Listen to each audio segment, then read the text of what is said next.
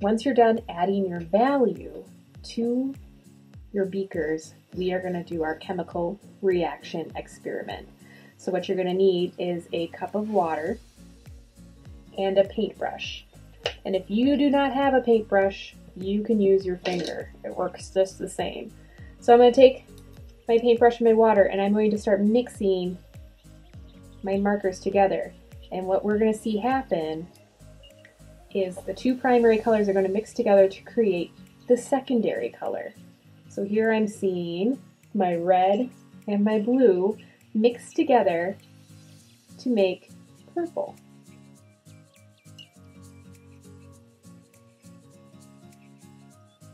All right, let's do the middle one.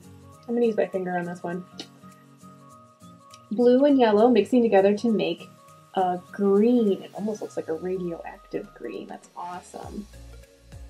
And what's nice about doing the crayon first is that the crayon is a resist. It pushes the water back so it'll stay there and you don't mess it up. Now, it said if you had a permanent marker, you could outline right away, but if you only had a Crayola marker, you should wait. Because if you wanted to outline with black and you only had a Crayola marker like this, it would have started to mix when we added the water. So when this is dry, if you want to go outline your beaker, you can go back with a Crayola marker to outline. Or you could even use just the crayon to outline, that would work too. All right, there we go. We just had a science experiment on our art project and we mixed those primary colors to create the three secondary colors, purple, green, and orange. Now we are going to take this one step further and we are going to create or take our forms and make them stand up. So if you want to do that, you need to go and find some toilet paper tubes and some tape or glue and a pair of scissors. If you don't have those things at home, you can just leave your art project like this if you want to. That's totally fine. Alright, so if you decided that you want to take this one step further and make these into standing forms, you're going to need to find some type of thing to make them stand up. So I'm going to use toilet paper tubes. You could use like a paper stand or something else if you have that available. And I'm going to start cutting out my forms. So I'm going to cut these out and I'll be right back.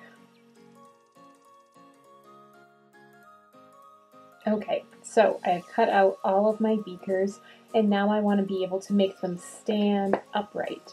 So I'm going to be using some toilet paper tubes that I have at home and I'm going to be taping them to the back. Now you could use a glue bottle but you have to let it dry somehow. You could also use a paper clip to adhere them, but um, I think tape is probably the easiest way. I'm going to use masking tape, but any tape should work.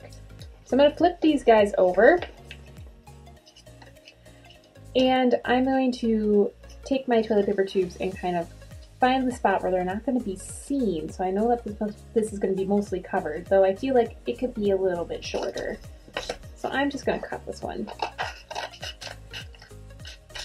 And I want to make sure that my cut's not always even, so I want the edge that was manufactured edge, the one I didn't cut, is the bottom edge, because that's what's going to hold it up.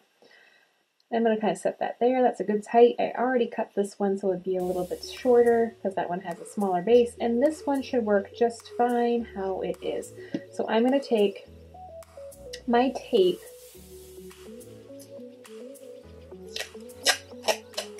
and I'm just going to put a little bit of tape on the inside of this, like that. I want this to be kind of close to the bottom. I'm trying to line it up at the bottom of my beaker and I'm going to put the tape down. I'm going to do that on all three of my beakers. Line it up at the bottom, massage the tape down,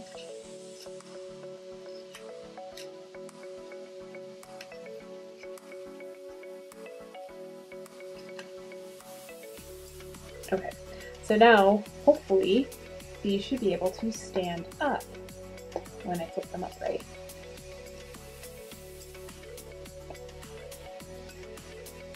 Hmm, this one needs a little extra tape. So if you have a problem like that where it's not standing up, you can take some tape and put it on each kind of side of your beaker or of your toilet paper tube, kind of wrapping around and then to the back. Perfect. All right, we're gonna take a look at these when they're all set up and uh, ready to go. So I'm gonna set these up in an interesting place in my house and take a picture so you can see what they look like when they're all standing together.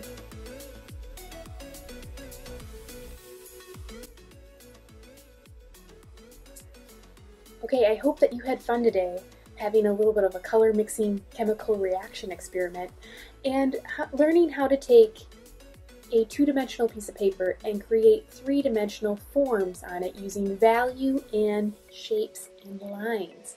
I know I had a really good time. Now remember, if you wanted to, you could color this with whatever materials you have on hand. A pencil is great for the shading as well.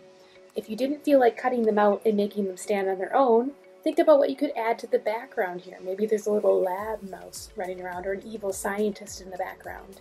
So think about what you could do with that background to give it a little more interest.